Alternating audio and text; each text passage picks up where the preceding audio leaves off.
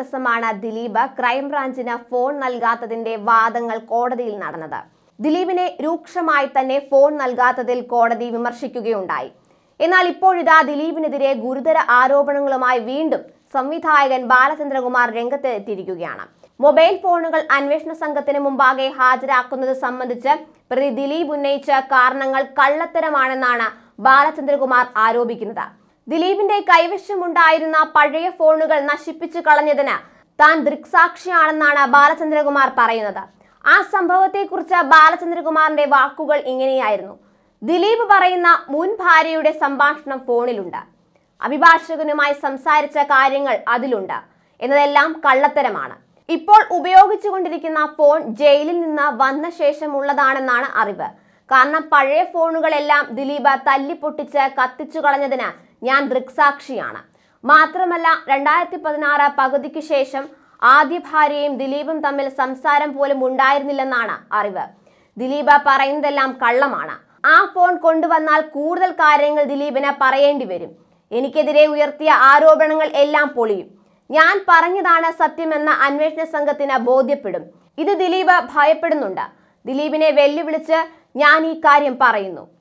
ദിലീപ് തീക്കൊള്ളി കൊണ്ടാണ് തല ചൊറിയുന്നത് എന്ന് ബാലചന്ദ്രകുമാർ പറഞ്ഞു. ഞാനിപ്പോൾ പറയുന്നത് ദിലീപ് കാണുമെന്നത് എനിക്ക് ഉറപ്പാണ്. അതാണ് ഇപ്പോൾ ഇക്കാര്യം പറയുന്നത്. ദിലീപിനെ വെല്ലുവിളിച്ചാണ് ഞാൻ ഇക്കാര്യം പറയുന്നത്. ഫോൺ ഡേറ്റ റിട്രീവ് ചെയ്ത് കൊണ്ടുവരുമ്പോൾ എന്റെ ഫോണിൽ കിടക്കുന്ന സന്ദേശം അദ്ദേഹത്തിന്റെ ഫോണിൽ ഉണ്ടാവുമല്ലോ അത് കളയാൻ പറ്റില്ല. ഞാൻ മോളുടെ ആഭരണമുണ്ട് അത് വിൽക്കുകയോ പണയം വെച്ചോ എന്ന് തുടങ്ങുന്ന ഒരു സന്ദേശം രണ്ടായിരത്തി പതിനെട്ട് ജൂലൈ മാസം അയച്ചിട്ടുണ്ട് ഇത് കൊണ്ടുവരണം. രണ്ടായിരത്തി പതിനെട്ട് ഓഗസ്റ്റിൽ മറ്റൊരു സംഭവം. അന്നേ ദിവസം ഞാൻ തിരികെ പോകുമ്പോൾ അദ്ദേഹത്തിന്റെ വീട്ടിൽ വെച്ച് ഒരു വ്യക്തിയെ കണ്ടു. അയാളെക്കുറിച്ച് ഞാൻ നാളെ പറയും അത് തെറ്റോ ശരിയോ എന്ന് അദ്ദേഹം പറയട്ടെ. രണ്ടായിരത്തി പതിനെട്ട് ഒക്ടോബർ പത്തൊൻപതിന് രാവിലെ ഏഴ് മുപ്പത് കഴിഞ്ഞ് അദ്ദേഹം എനിക്കൊരു മെസ്സേജ് അയച്ചു. കാവ്യ ഇപ്പോൾ പ്രസവിച്ചു. Baby girl. ഈ സന്ദേശം അദ്ദേഹം നിർബന്ധം കൊണ്ടുവരണം. ഇത് എന്റെ ഫോണിലുണ്ട്. അദ്ദേഹത്തിന്റെ സഹോദരി ഭർത്താവ് സുരാജ് പതിമൂന്ന് സെപ്റ്റംബർ രണ്ടായിരത്തി പതിനേഴിന് എനിക്കൊരു മെസ്സേജ് അയച്ചു. രാത്രി പത്ത് മണി കഴിഞ്ഞാണ് മെസ്സേജ് വന്നത്.